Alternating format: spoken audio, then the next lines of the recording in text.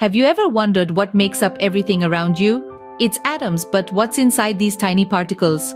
Well, let's break it down. An atom is like a tiny solar system. At the center of this system, we find the nucleus, akin to the sun in our solar system.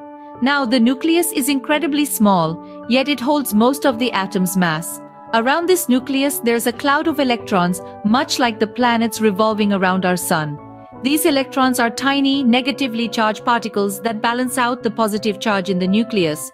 But what's in the nucleus, you ask? Well, it's made up of even tinier particles called protons and neutrons. Protons carry a positive charge, while neutrons have no charge. Together, they make up the bulk of an atom's mass. So, at the heart of every atom, we find the nucleus, a tiny yet massively important component. So what's inside this nucleus we just mentioned? You might be wondering, well, let's dive in. The nucleus, this tiny but mighty core of an atom, is primarily composed of two types of particles, protons and neutrons. Now, these aren't just floating around willy-nilly, they are held together by what's known as the strong nuclear force. This force is incredibly powerful, hence the name, and it acts to keep these particles in check, binding them together within the nucleus. Imagine the nucleus as a bustling city with protons and neutrons as the inhabitants. The strong nuclear force would be the laws and regulations that keep everything running smoothly, preventing the city from descending into chaos. Without this force, our atomic city would simply fall apart. So the nucleus is a dense core of protons and neutrons held together by the strong nuclear force. Now on to the individual roles of these particles in the next scene. Let's delve a bit deeper and talk about protons. Protons are fascinating little particles residing in the heart of an atom, the nucleus. Protons carry a positive electrical charge, making them the counterpart to negatively charged electrons. But what makes their role truly significant is their unique identity marker for atoms. Each proton contributes to the atomic number of an element, which is like the ID card for atoms. This atomic number is the definitive factor in determining what element an atom is. For instance, hydrogen has one proton, helium has two, and so on. The number of protons in an atom never changes, maintaining the atom's identity throughout its existence. Their relative mass is also noteworthy. Protons, along with neutrons, account for virtually all of an atom's mass, despite electrons whizzing around the nucleus. So protons, with their positive charge, play a significant role in the atomic world, defining what an atom actually is. We've got protons covered, but what about neutrons? Neutrons are the unsung heroes of the atomic world.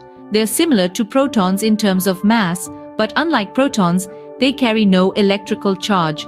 That's right, they are neutral, hence the name neutron. So, you might ask, what role do these neutral particles play in the nucleus?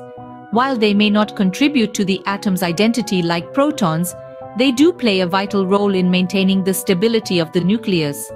Think of them as the glue that holds the atomic family together. Despite having no charge, neutrons help to counterbalance the repulsion between positively charged protons. Without neutrons, the protons within the nucleus would repel each other so strongly that the atom would simply fall apart. The presence of these neutral particles allows atoms to exist in peace without the constant threat of atomic disruption. In this sense, neutrons are the peacemakers of the atomic world. Despite being neutral, neutrons are essential for the stability of the nucleus. Now, let's explore atomic number and mass number, two key terms in nuclear chemistry. The atomic number, quite simply, is the number of protons in an atom. This number is fundamental because it determines the identity of the atom. For instance, an atom with six protons will always be carbon no matter how many neutrons are present. On the other hand, the mass number is the sum of protons and neutrons in the atom's nucleus. It gives us an idea about the overall weight of the nucleus. For example, if we have a carbon atom with 6 protons and 6 neutrons, its mass number is 12. In the notation of chemical elements, the atomic number is usually written as a subscript to the left of the element symbol and the mass number as a superscript to the left.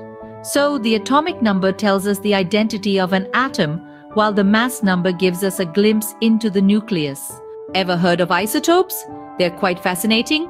Picture this, atoms of the same element but with a twist, they have different numbers of neutrons.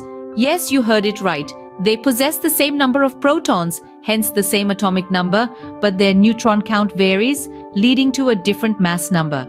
This anomaly gives birth to isotopes.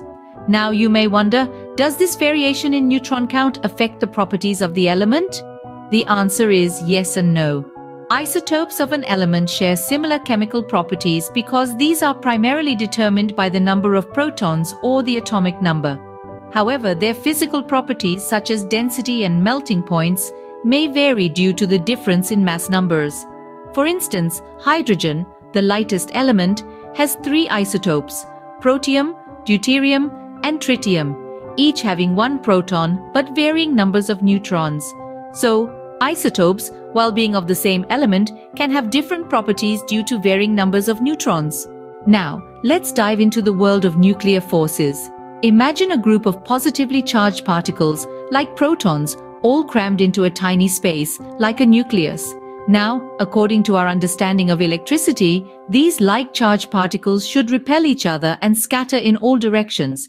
But that's not what happens in an atomic nucleus. Instead, the protons and neutrons stick together, forming a stable nucleus.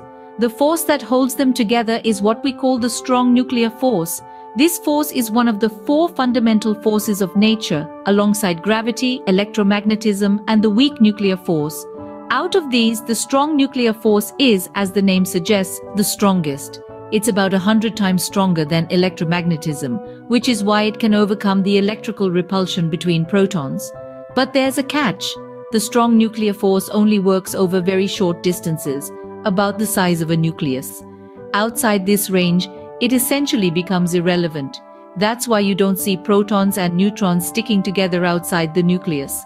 It's like a super strong magnet that only works when you bring objects really close to it. Now, the strong nuclear force doesn't discriminate between different types of particles. It acts equally on protons and neutrons. This is why neutrons, despite their lack of electrical charge, play a crucial role in maintaining the stability of the nucleus. They contribute to the strong nuclear force without adding to the electrical repulsion.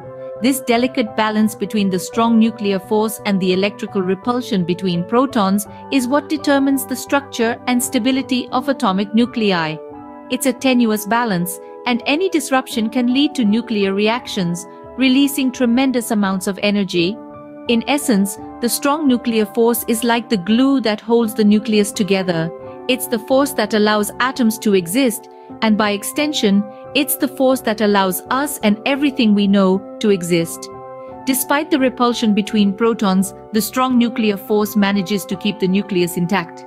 Finally, let's talk about nuclear stability, a key concept in nuclear chemistry.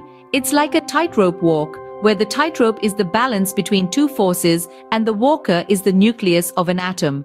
Consider this, the nucleus is a tiny space filled with positively charged protons. Now, like charges repel each other, so why don't protons just fly apart? That's where the strong nuclear force comes into play. It's an attractive force that binds protons and neutrons together in the nucleus, acting like a super strong glue. However, this force only works over extremely short distances. Now imagine if all the protons in a nucleus were replaced with neutrons. Would the nucleus be more stable because there are no repelling charges? Not really. Neutrons, while neutral, are important for stability, but only up to a point. The neutron-to-proton ratio is a crucial factor in nuclear stability. For lighter elements, this ratio is typically 1 to 1. As we move to heavier elements, more neutrons are needed to stabilize the nucleus. Too few or too many neutrons can make the nucleus unstable, leading to radioactive decay.